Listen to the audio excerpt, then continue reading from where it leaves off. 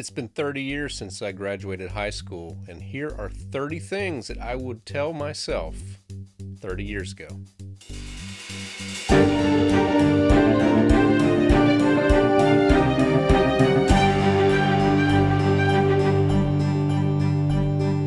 And hello, everybody. Welcome to episode 23 of the Musician Toolkit. I'm your host, David Lane, and it is great to be with you once again.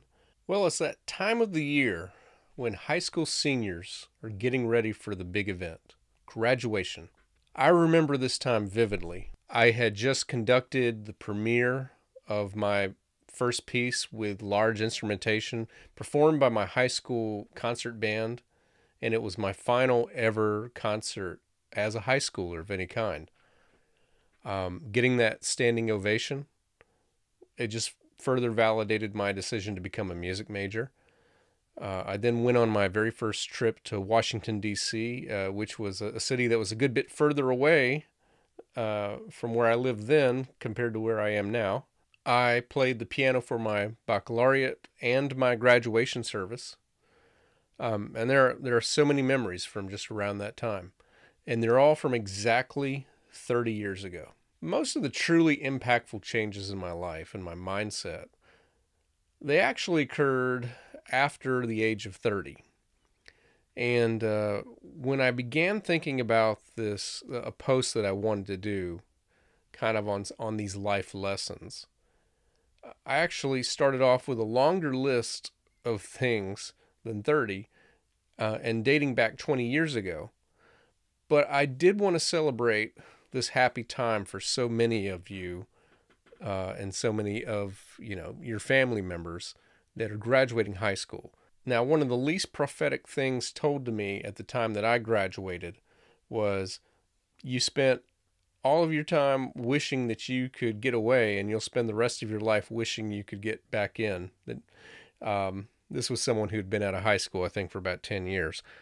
Well, you know, I haven't seen that person since since I moved away from Florida so you know I can't imagine that they'll, they'll, even hear this, but but I would just say if you if if you did and you remember saying that, I would just say you were half right.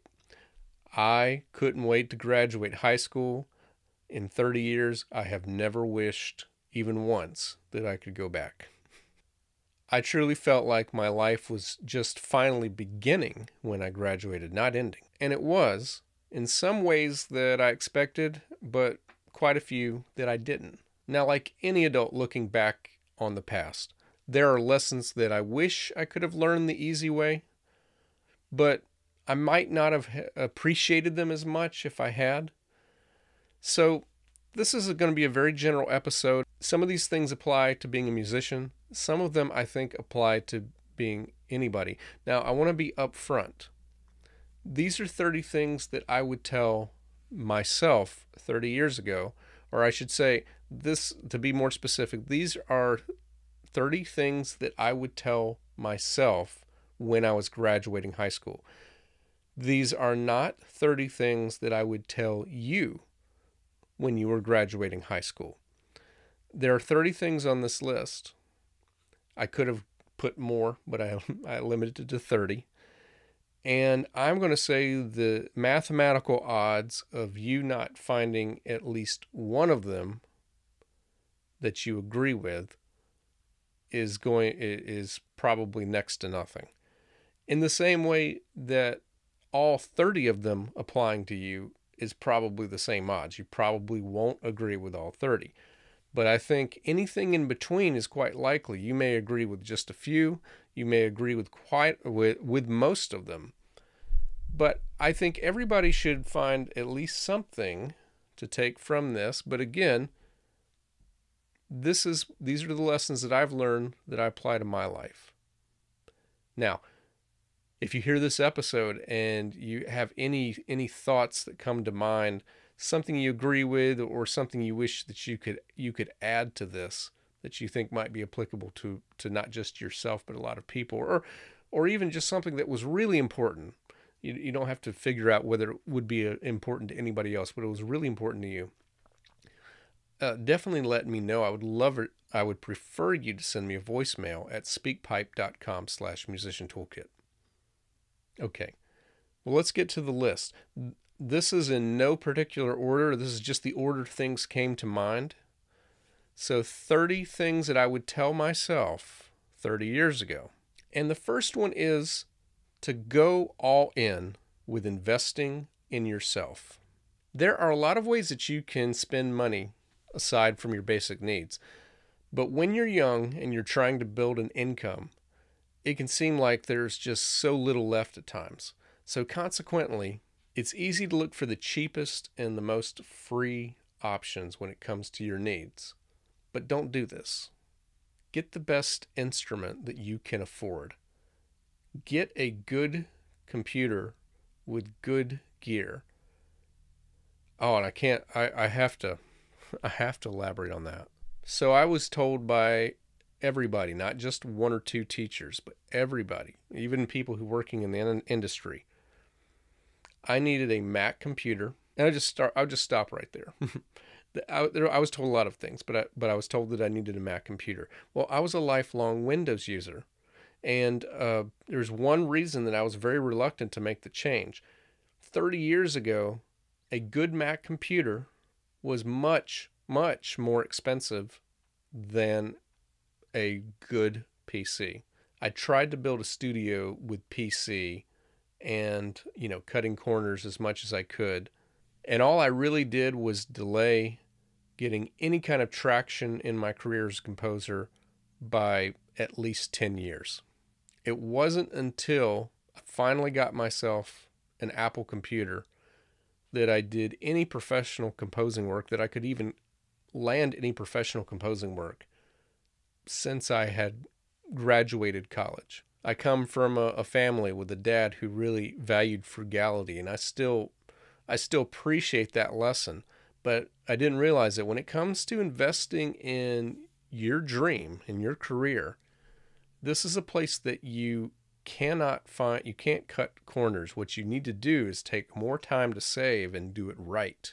Don't go cheap if you have to if you have to have to delay if you have to take out a little bit of debt you have to figure out what's best for your situation but don't go cheap so another thing in this category is get some lessons with a good teacher or advice from a good coach if there's a $200 course or a piece of gear that will truly make your skills more advanced or your life easier you should do it for one thing, it gives you what's known as skin in the game. When you don't spend money on your tools and you just accept the the free versions of apps with ads and you try to teach yourself everything, well, you don't really feel any pressure to stick with your goals. I think of how long, kind of just vaguely related to this, I, I think of how long I kept going with limited data plans or choosing phones with a low amount of storage and then strategically skimping to make it work. When really it was just a few dollars more each month. I have everything I need. I'm not cutting corners, doing online lessons, hoping that it, you know, I get it in before the 40 minute mark and, and don't have to cut off and then come back on. Invest in yourself. If it's something you need, pay for it and then do the work to make it worth it. Now, the second thing I would tell myself is actually uh, probably should come first, but I wanted to get that first thing out of the way. You need to invest in yourself. But the second thing is you need to save money first. So I'm not saying to ignore my first bit of advice until you do this step, but you should minimize it. In my 30 years of life since high school, my number one source of anxiety, and there really isn't a close second, it's been financial stress. A few years ago, I'm not going to say that I cured that stress, but I have all but eliminated that stress with a threefold system. First of all, I built an emergency fund that would cover at least six months of bare bones expenses. Now, it won't cover six months of me eating out all the time, uh, you know, or spending, you know, money to, to, to go to the movies or to go to some concerts or or or maybe even keep all of the streaming services that we have. I mean, I probably might have to cut some corners, but I could go 6 months and not worry about having enough to eat or, you know, keeping all of the utilities going or even getting around in my car. And the second thing that I did is I started budgeting for large expenses and buying only the things that I could afford, either in full or mostly paid off already. Yeah, I think if you are investing in yourself, if you have to go, if you have to do a little bit of debt early on, if that's going to really make a difference, I don't think that that should be a factor in you not investing in yourself. I've reached a point in my life, though, where unless it is an extraordinary opportunity, I will not go into debt for it. I will save up, and, and the only thing that I really go into debt for right now is is a car and a house. If I was to get a new car or a new house, and I would try to minimize that by having as big of a down payment as possible. But anything else, I just for me, it is much less stressful not to have debt. And the third thing I started to do is automating money towards retirement. This is something that I would absolutely tell myself 30 years ago. Don't wait until you've been out of high school or even out of college for a decade or more before you start saving money for retirement. I think right now, right this week, before you get a frame for your diploma, go to the bank and get yourself a Roth IRA or whatever you qualify for and pick just some simple, safe, conservative funds and start automating whatever you can afford, even if it's, I don't know, $10 a week, $20 a week, whatever you think that, that you can manage. Automate that so you don't ever have to think about it. It's money you don't even see. It goes straight to your retirement fund and watch the magic of compound interest. I just read a book called The Psychology of Money by Morgan Housel, and he made a big point about Warren Buffett about how he started investing I think when he was 15 or 16 or something like that. And and it says if if he had just done everything that he had done but started at the age of 30 instead of having 80 something billion dollars today he would have you know maybe like just a few million. And you know, if you if you're like me a few years ago, you might you might not realize how big of a difference that is, but it is it's basically like a 99% difference. it's like he would have like 1% of the wealth that he has now if he had just waited 10 or 12 years to get started. Don't wait. Go ahead and start that off. I waited too long uh, it's unlikely I'm ever going to join the ranks of billionaires, but just getting those things going has meant a world of difference. I no longer panic when I have a few students quit within a short amount of time because it happens. It's not re- it's not necessarily reflective of me as a teacher, but people's lives, things come up. Uh, students move, students graduate, I teach adult students, and sometimes the work schedule gets intense, and I might go months with no change, and then one or two months happens, and I lose quite a few students. Well, I don't panic about that anymore. I don't panic when appliances quit. And just as a fun fact, in 2022, there was a seven month period in which our refrigerator, our stove, and our dryer all quit. And this was right after voluntarily buying a new dishwasher. And at the same amount of time, we had, between our two cars, we had over $3,500 of car repairs. And yet we were prepared. Money in the bank gives you freedom to be creative and to get you what you need.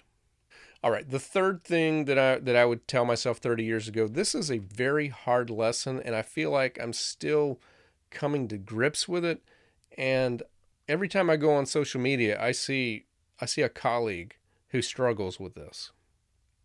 So I think this is important for a lot of you. This is music related. Your friends don't have to also be your fans. So let me say that again.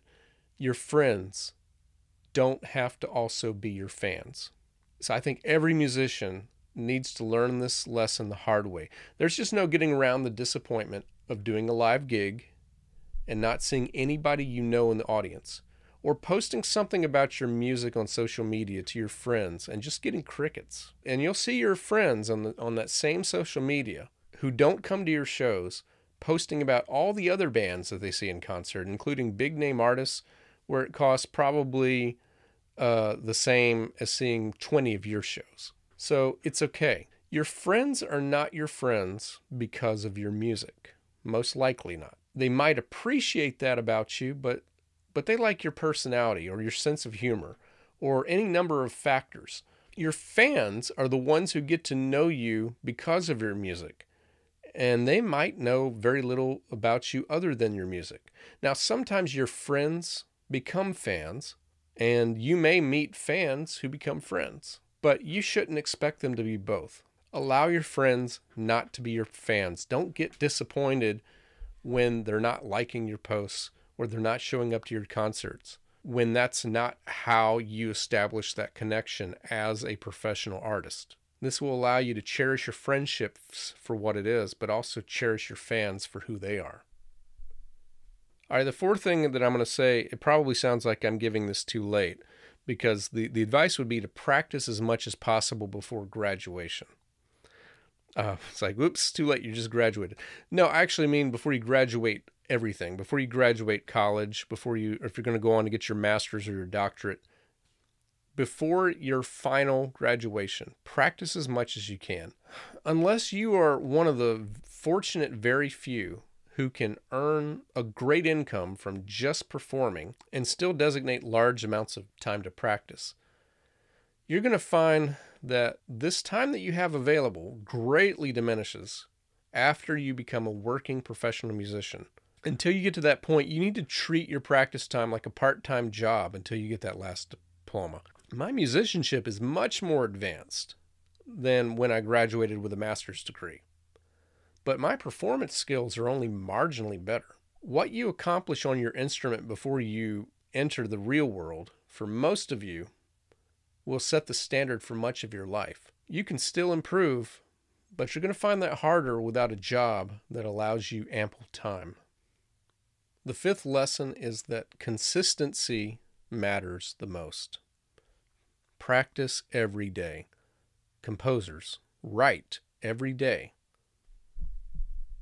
Post something on social media related to your art or your business every day.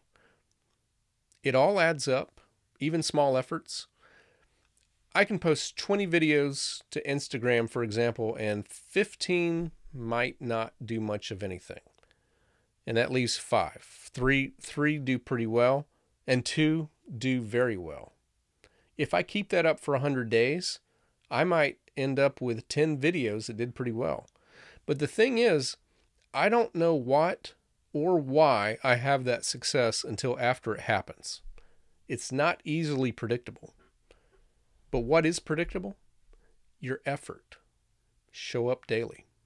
Number six is a lesson that I learned fairly recently. I would say I was probably uh, close to 40 when I learned it.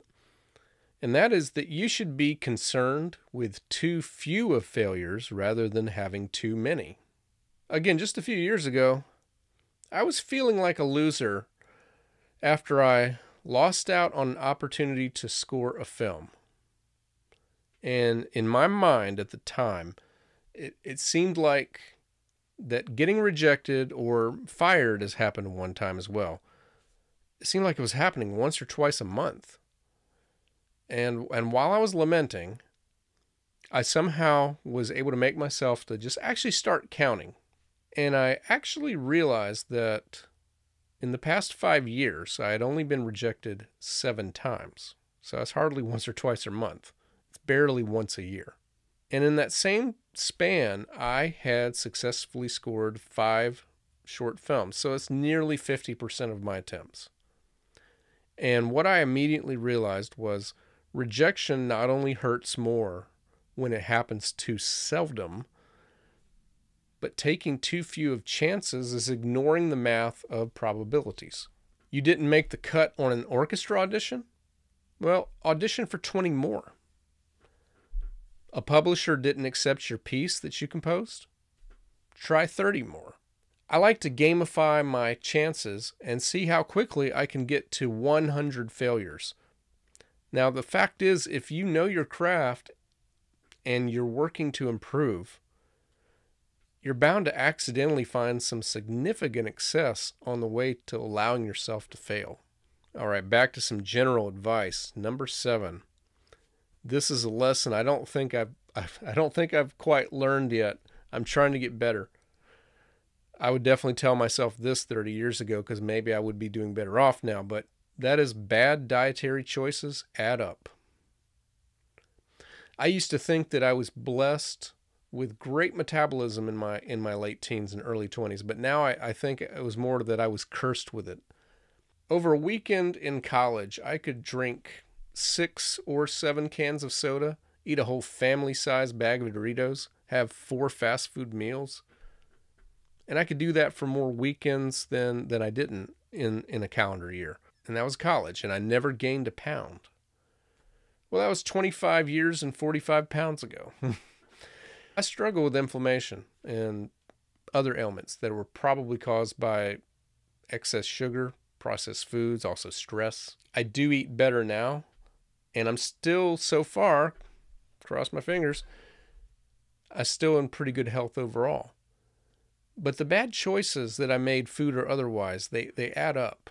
Indulging in a pizza is fine, but making it or the caloric equivalent your normal choice will add up in a way that it takes a lot of work to reverse. Number eight, and again, this is for me. This is advice I would tell myself. This is one that I think likely a lot of you might disagree with, but that's okay. And that is that I think that realism is best. Don't see the worst or the best outcomes of any situation. It's healthy to be a little bit skeptical. But it's also fine to be optimistic and positive in how you respond. But you need to accept each situation for what it is. In other words, if there's a recession, don't shrug it off with the proclamation that it won't affect me. Also, don't don't go into it expecting that you're going to lose everything. Accept the situation and calmly look at what it is that's within your control and plan accordingly. I'm a big fan of removing the words always and never from my vocabulary because the labels are almost always hyperbolic. Think in terms of probabilities. Some things are likely to happen, some things are not very likely to happen, and there are so many shades of that in between. A really great book to introduce you to that way of thinking is called Thinking in Bets Making Smart Decisions When You Don't Have All the Facts, and that's written by Annie Duke. Let's stay on this theme with number nine. Don't be surprised at what life throws your way. I'm genuinely puzzled by the response to any misfortune or tragedy of when, when people say ask this question what did they do to deserve that well unless you're talking about a crime and the legal punishment the answer is usually nothing Life doesn't play favorites. Nature is as violent as it is beautiful. People are kind and they're also mean. The economy is great, but then sometimes it's not. People die young, jobs get lost. That doesn't mean that we shouldn't grieve accordingly, but we're not being persecuted when it happens. I grew up in Florida where the most beautiful sunny day was likely to have a torrential thunderstorm around 3 p.m. that would last just for a few minutes. Storms come unexpectedly. Expect that anything you can't control is possible, and not all of it will be pleasant. Don't be surprised at what life throws your way. Number 10, you can be confident in yourself to handle any situation. Over the past several years, I've become an advocate of Stoic philosophy. And one of the things that it teaches is that the only indestructible freedom you have in life is how you choose to respond. Almost anything else can be taken away from you, but how you respond is always your choice. So when things come up, just know that you can handle it. It might take longer than you'd like, but you can see it through. You can do it. Number 11. This took me a long time.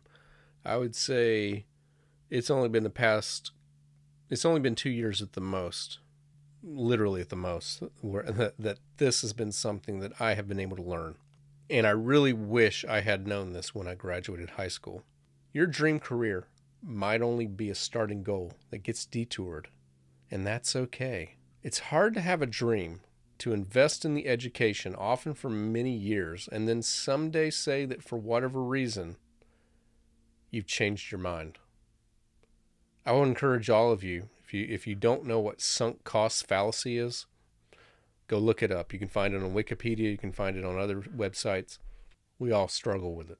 It's far easier to keep telling yourself that your break is coming. Keep dreaming the original dream. But I heard someone else say this and it made me feel just so thankful that they shared this. Do you really think you know what's best for your life when you're 18 or 21 or 25? You will change your mind about a great many things in your life and you'll realize how misinformed you were. I think I've done that on just about everything. It's okay to pivot, and odds are you will use your experience to help your new direction. So it's not all for nothing. So I had a variation from a friend of mine who shared this, and she said her advice was that not all careers are linear. Sometimes you'll move horizontally or even backwards to position yourself for future growth. Number 12, be accepting of people's different tastes because there aren't many happy elitists. I found myself in conversations, in person as well as online, where someone would rather tell you how much they don't like a movie, how much they don't like a series or a book or a musician or a band or so on, sometimes it's easy to find yourself not liking something and spending so much time making fun of someone who does like it or even thinking less of them. This happens with people who really love one genre of music. There are still classical fans on Twitter who call film film composers hacks. There are so many chanters of the slogan today's music sucks. Now, I'm not saying that you have to like everything, but why don't you allow others to like it without your judgment? Elitists struggle to find friends except for the few like minded people they can find. And that's a very narrow and very flimsy foundation for any kind of friendship. Number 13. Such a hard lesson for me, but one that I'm glad that I eventually came to. Be early to adapt and let Others moan about how wrong something is. When I got the first version of my website in 2005, which which I think was very late for me to be honest. I was I was in college when email first came around. I had an older teacher colleague tell me that they were still convinced that the internet is just a fad. now, in 2005, that seemed crazy to me, and it's only gotten crazier ever since. So I've never held that attitude, but I've often been late. If I had began a podcast when I first had the idea instead of 2 to 3 years later, I would have been in a better position to succeed. Same thing comes to YouTube. There are people who moan about social media, while others are getting on right away and succeeding. Recently it was TikTok, but but soon there will be another big thing that that you'll have some people who wait and see, while early adapters are more likely to find success. Now, right now, as I'm recording this, it's AI. There are certain jobs, even within music, that are in danger because of AI. Are you going to be the type of person who sits around and complains about how unfair it is? Or are you going to accept it and start learning now how you can pivot to be more valuable in the present. In a similar vein, keep up with your software updates. Now, as more things go toward a subscription model, that's something you won't have to keep track of quite as much as you used to. But but don't be the person who keeps their computer 5 years after it stopped updating its software. Updates usually benefit you, and you're dealing with less than you need to by hanging on to outdated tools. Number 14, keep up with your friends. Write down 10, 15, or 20 friends that you genuinely care for and go schedule some time with a reminder for you to text them, call them, try to have some lunch, just get together. It's hard to imagine this when you're 18 and you're around your friends all the time, but it's easy to let years, many years go by without even touching base. You can't keep up with everyone, but don't allow the relationships that matter to you to go dormant. Number 15, and I'll probably have another podcast episode just all about this in the future, but curiosity is a superpower. When you change your reaction from that's horrible to that's interesting and approach everything like a curious cat or a scientist, you're going to find that it's an antidote to stress. It's an antidote to anxiety and depression in a, in a majority of instances, not in all cases. But get excited about discovering new things.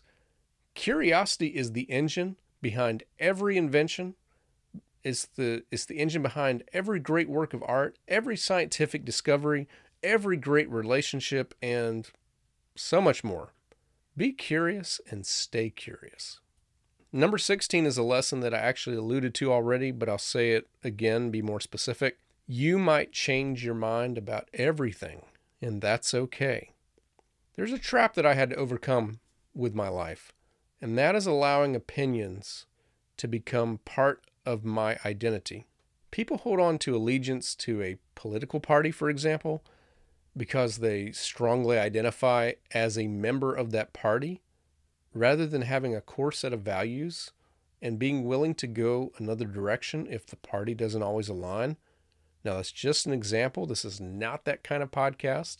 But my advice would be to separate who you are and what you value from what you believe or the opinions that you hold. Always be willing to ask why you believe something. And if it doesn't hold, up to your deepest core values, it's okay to change your mind. Number 17, my advice is to stay in touch with pop culture, at least a little. If someone raves over a movie or a TV show, it really doesn't take more than five minutes to go watch a trailer or to read a review or a blog. If there's a new song that everyone seems to love outside of your preferred genre, it, it wouldn't take much time to listen to it at least once Stay connected to what's going on because it matters to some people that you know and it keeps you in the loop. Number 18, become an expert in marketing yourself. Nobody will get you work for yourself more than yourself. Learn why you love music and what you offer as an artist or an educator, and learn how to share that with everyone. Learn how social media platforms work and share yourself, share your art, share your services. Number 19 is a bit of specific business advice. But if your rates never scare anyone away, you're not charging enough. This was a very hard lesson for me. In the past, I've actually heard uh, a prospect tell me that's a bit much. And then I backed down and I offered a discount and then I lowered my rate for, for the next client who asks, which is a double cringe. There's actually a simple test. Take note of the next five people who ask for your services and ask what your rate is. If none of them flinch at your rate, then it's definitely too low. If they all accept, even reluctantly, it still might be a little bit low. I think out of five people, at least one or two should be scared off. Now, if more than 50% are scared off, you might be too high. But the right market value and the one that's going to allow you to make a good living as a professional musician, it won't be right for everyone. And it should be at least a little too expensive for some, but not all. Now, lesson number 20 is definitely me wanting to remind you that this is advice for me because I could I could definitely see how some of you might take exception to this it, because this won't apply to everyone, but it, I have had the fortune to say that this can apply to me, and it's something that that I would tell myself 30 years ago. And that is that you should solve money problems more through income than you do through expenses. Too often in my life, I've looked at how I can reduce expenses, as, as I mentioned under, under the first lesson here. I was talking about cell phones, and it was 2014 before I got a smartphone plan. I used to get the least expensive prepaid phone plans with phones that were usually vastly inferior to the market standard.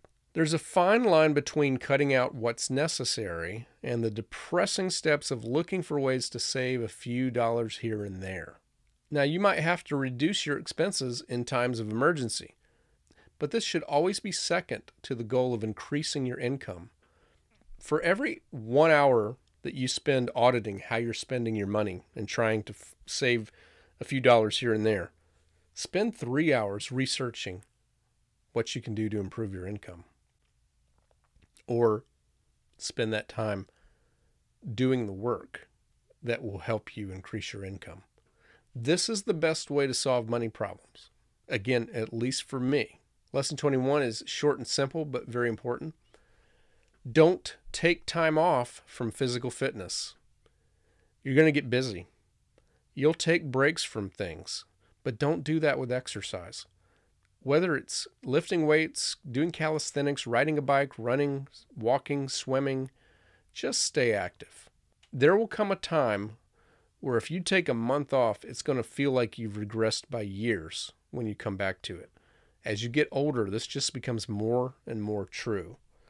So give yourself breaks w- when you get sick, but come back to a routine that you can sustain of staying active as often as you can. Lesson number 22 whenever absolutely possible, accept every invitation to socialize. Now, I'm going to go ahead and tell you, I still don't have this lesson down pat. I have violated that within the last month. This is a hard lesson for me, but it's one that I'm de- that I'm still determined to improve. I'm a lifelong introvert. And so, therefore, I've responded to many invitations of going out for a drink after the show or to a cast party or some other kind of party uh, with excuses that could easily be rescheduled. And, uh, and I've experienced the natural consequence of this, and that is that I don't get invited to things as much now as I used to. And I'm and I'm sure that if I didn't take efforts to improve this, to show up every now and then, there's likely a time where people would just stop inviting me altogether. Every year I read research about how social interaction is actually maybe the most important thing that you as a human can do to improve your health. Social isolation is, is a bigger killer than diet. For some of us like me, being social is an effort but socializing has a profound effect on human health. We are social animals, even us introverts. And people people who avoid it struggle with depression more often than people who stay engaged. You might genuinely be tired. You might want to just go home. But if it's an option, say yes to those invitations.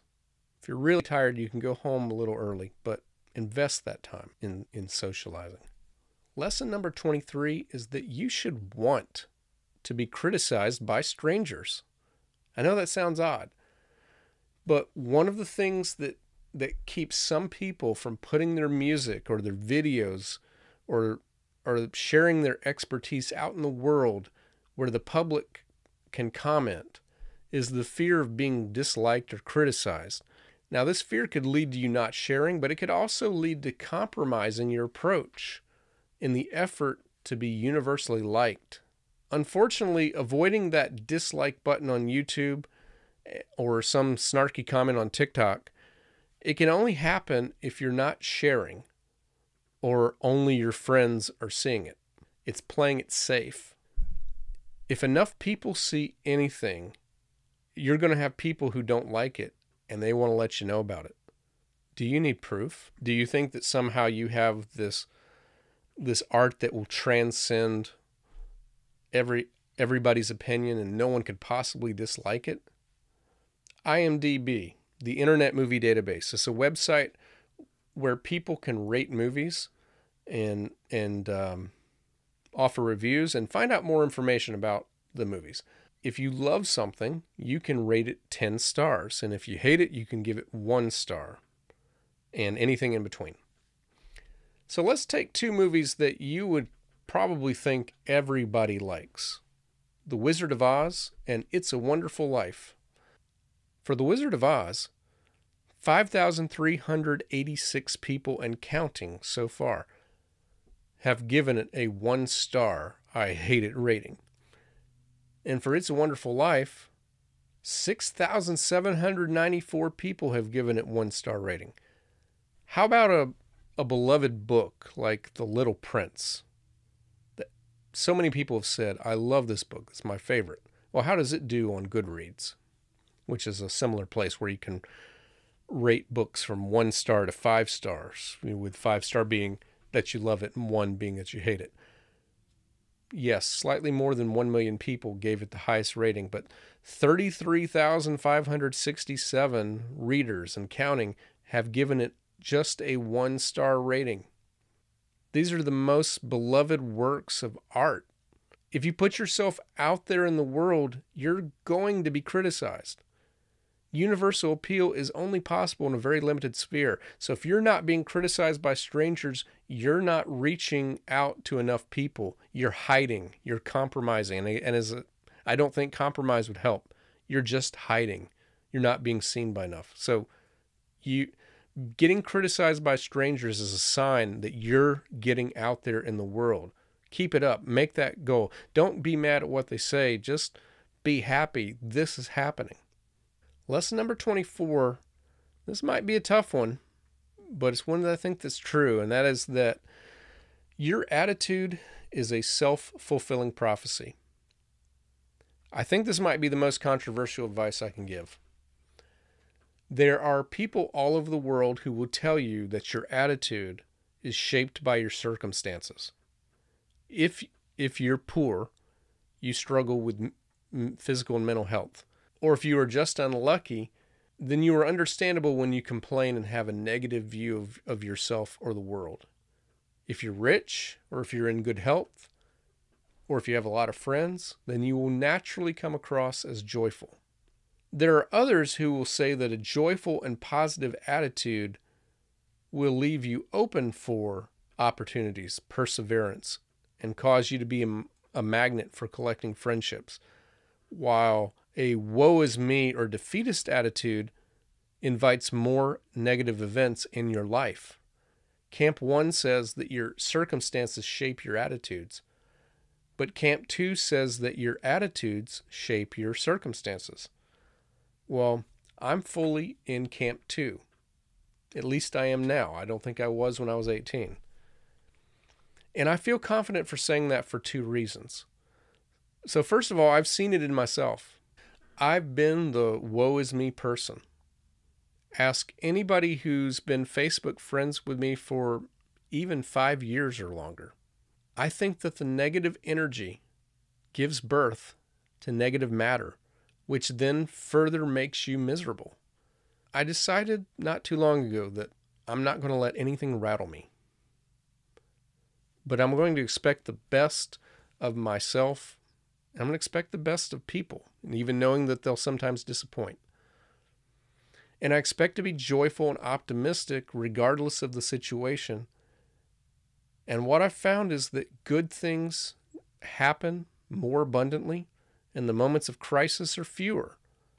And it's largely because I'm now able to, to see true crisis from just a difficult day. And the second reason is that I see it in others all the time. I see the person who is always lamenting their life, and their life never gets better because it's like their thermostat is set to the setting of this stinks. Then there's the person who savors moments. They see the good in others, they're thankful for what they have rather than constantly complaining about what they don't have. And they just seem to attract more great opportunities and relationships. So set your emotional thermostat high, and I'm willing to bet that your life will have more highs than lows. Lesson number 25 this will definitely be its own podcast episode down the road. Um, but you should constantly read books that improve who you are. I've read a ton of books over the years, and, and I've had my fill of science fiction, horror, thriller, and mystery novels, and there's nothing wrong with the diversionary fiction.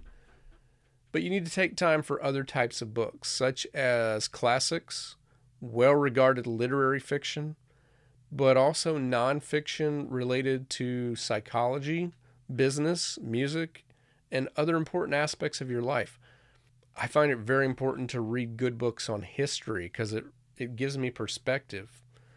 We, we, if you ever heard anybody say people today are acting more in this negative way than they used to, well, a good history book will cure you of that. Biographies of successful artists are also great. What you read will shape your life. And as an additional note, this is a lesson that I had to learn. Don't read fast just because you want to check it off and say that you read a certain number of books per year. I, I do like the website Goodreads, but more and more I think that the reading challenge is a bad thing. Reading a hundred books that you won't remember all of is not nearly as effective as reading 40 or 50 books that you really took time to absorb. So read as slow as, as needed. Take notes or make highlights. And if it's good, plan to reread it soon because that's where you'll really get more insight is when you read it again. Lesson number 26 You are what you do, not what you think or what you plan to do. I'll say that again. You are what you do. You're not what you think or what you plan to do. So this may be tough to hear, and it was very tough for me to learn. Because if you call yourself a composer, but you spend little to no time actually composing, then I hate to break it to you, but you're not a composer. You might envision yourself living as a composer, having a career in that area, and you might even love the idea of it, but it's just a fantasy. If you aren't living it with action, then you don't value it as much as you value something else. If you want to learn your instrument well, but you're not practicing often, then there's something that you value, such as self esteem or comfort, more than you value becoming a great performer. You can apply this to each walk of life. If you're eating junk food, if you're not working out, if you spend an excessive amount of free time on social media or streaming series or films, you are saying that you value what that offers more than the alternatives. If your actions don't align with your thoughts, you need to dissect them closely to figure out why there is a disconnection. Number 27. Except in times of financial emergency, never let a month go by without attending live music or theater. Much like accepting invitations to be social, you should support live music and theater as often as you can. So if budget is an issue, go go to smaller and more local shows and perhaps trade it for another expense. So, you know, eating out fewer fewer amount of times or something else you can kind of let go. Besides exercising the habit of being supportive, the live experience really can't be fully duplicated by consuming YouTube or TikTok or even listening on Spotify. Lesson number 28. If an opportunity is given where you feel slightly unsure, you should take it. To clarify, if you feel wholeheartedly confident against an opportunity, you probably should avoid it. But if you only accept opportunities when you already feel fully prepared, you're missing out on several opportunities. One is the chance for growth and also the chance to learn something new about yourself. Working with musical theater was a suggestion that was given to me in 1996, and I ignored it. And it wasn't until 13 years later I was urged to try it on a production that was desperately seeking a music director. I didn't know what I was doing, and I ended up starting a whole new chapter of my life.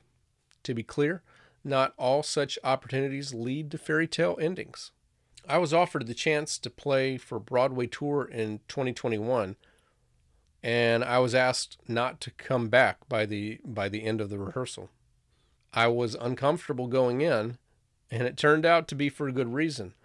I wasn't ready for it. And yet, I learned what the process was like. I learned exactly what I need to do to be prepared for the next time. I also learned, rather than having to wonder, that it wasn't something that I wanted to pursue any further than I did. I made an immediate pivot of my energy and I've never regretted it. I actually I only regret the things I never tried. Lesson number 29 is related to some of the other things that I've shared already, but I thought it needed some elaboration. And that is that you should approach your life with general values rather than specific goals. As most good career coaches will tell you, the why is the most important part for you to figure out. For years, I thought seeking to be a film composer was essential to personal success, but I never asked why I liked it. So I started thinking about it. One of the reasons was pretty shallow. I wanted to become a household name in that field and win an Oscar for that category. Once I realized that there was no value in that reason, I thought about what else captivated me. It was it was collaboration and the chance for dramatic creativity. Well, I get that very same joy as an arranger for other writers' musicals. I get to take their baby and make it better. And I absolutely use all of my film scoring skills when I do. Don't think about what you want to do with your life, but spend more time thinking about why you want to do it because that why will lead you to places you've never dreamed, but the what could become a crutch. Do likewise with every decision. What kind of goals do you have that are general? Maybe it's to be a good friend. Maybe it's to be a positive example in lives that may be lacking. Maybe it's to create great art that affects people. Do you see how that opens doors and also clarifies whether any action you take is a good one or not. The 30th lesson and final one for now is to see the world as a poet. I saved this for last because I think it's one of my most recent revelations and one that I can credit the book The Daily Stoic for showing me. If you're spiritual, this may come more naturally, but even if you're not, go outside and, and don't play anything on your phone no podcast, no audiobook, no music. Just appreciate the sound of the birds and the frogs and the dogs barking. Notice how light reflects off the tree. When you're looking at buildings, admire the angles in a variety of architecture. The next time you go on vacation, don't plan more than a few things in advance, but instead seek out things to do spontaneously. When you're in the shower, actually smell the soap. Allow yourself to be moved by music. Chew your food thoroughly and savor each bite. Life is worth living in these simple but profound moments that happen all the time and every day, not the monumental achievements that are actually quite elusive. And again, that is my list. I feel like I left some things out, but that leaves opportunities for future podcast episodes. What most resonated with you, and what would you add to this list that you think is an important lesson? You can send me a message or you can share that in a voice message at speakpipe.com slash musician toolkit. If you're on YouTube, please like this episode and subscribe for more content. And if you were following on a podcast, hmm, and if you found this on a podcast app, please follow. And uh, if you feel so inclined, I would love it if you'd give it a five star rating and review. And regardless, it really helps most of all if you share this episode with at least one other person. Finally, if you have a private studio of any kind, please check out the free trial of Fons and see how that can save you time and energy in your admin work with scheduling and billing. You can find that link in my show notes And that will wrap up this episode. Congratulations to all graduates out there, whether it's high school, college, or graduate school. Best wishes on the next stage of your life. And I hope that some of these lessons that you heard today can be some that you can go ahead and start trying right now instead of having to learn things the hard way and, and get a head start on where you could be otherwise. Again, that's it for today. I'll be back with you with a fun episode next week.